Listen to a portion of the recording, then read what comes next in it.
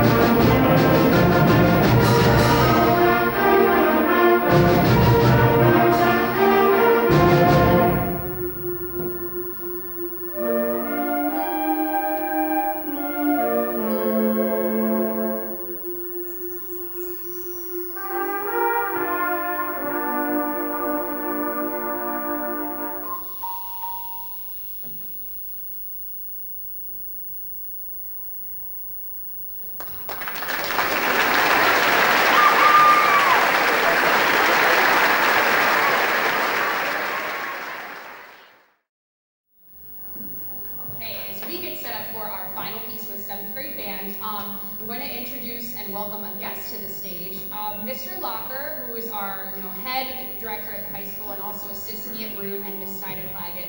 Mr. Locker and myself have been very fortunate to have a great student teacher this semester. Um, the, the thing about teaching, student teaching in the fall with band and marching band is that they don't start in August like all the other student teachers.